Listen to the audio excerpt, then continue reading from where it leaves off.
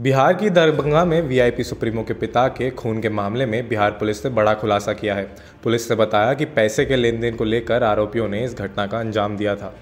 Police ने बताया कि सीसीटीवी के आधार पर पुलिस ने आरोपियों को गिरफ़्तार कर लिया है। पुलिस की पूछताछ में आरोपियों ने वारदात को कबूल करते हुए खून करने की वजह बताई।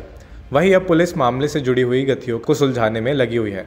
गिरफ़्तार आरोपियों से पूछताछ के बाद पुलिस ने प्रेस वार्ता की और बताया, मुकेश के पिता के गाँव के ही दो युवक जीवन साहनी के पास अपनी बाइक रखकर ब्याज पर कुछ पैसे उधार ले रखे थे। सोमवार की रात लगभग 10 बजे के आसपास जब युवक दो अन्य लोगों के साथ अपनी रखी हुई बाइक लेने आए, पैसे कम देने पर जितन सहानी और आरोपियों में विवाद हो गया। इस दौरान आरोपी युवकों ने चाकू से हमला कर जितन सहानी का कत्ल कर दिया। पुलिस के मुताबिक दो दिन पहले भी आरोपियों और जितन सहानी के बीच झगड़ा हुआ था। उस समय आरोपी युवकों ने सबक सीखने की बात की थी। पुलिस ने बताया कि आरोपी पहले से ही कत्ल करने का मन बना लिए थे। इसके लिए वे घर से ही तैयारी करके आए थे। पुलिस ने बताया कि चारों आरोपियों के पास बड़ी वाली चाकू थी, जिससे वो जितन साहनी के पेट पर हमला किया और लगातार हमले करते रहे। आरोपियों ने जितन साहनी के मौत के बाद भी उनके ऊपर वार किया।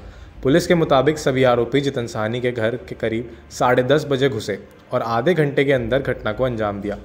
आरोपियों की पहचान जितन सहानी के घर के बाहर लगे सीसीटीवी कैमरा से हुई। आरोपियों के पहचान होने के बाद पुलिस ने उनके फ़ोन नंबर के ज़रिए सभी आरोपियों को लोकेशन ट्रेस करके उन पर दबीश बनाया और बीते मंगलवार देर रात को गिरफ़्तार किया। वीआईपी चीफ मुकेश साहनी के पिता जितन साहनी दरभंगा के सुपौल स्थित अपने घर में अकेले ही रहते थे। सत्तर वर्ष जितन साहनी को देखरेख और खाना बनाने के लिए उनके साथ दो नौकर भी रहते थे। हालाँकि खाना बनाकर खिलाने के बाद रात में ये दोनों नौकर अपने घर चले जाते थे।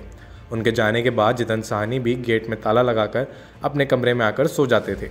वारदात के दिन भी यही घटनाक्रम हुआ।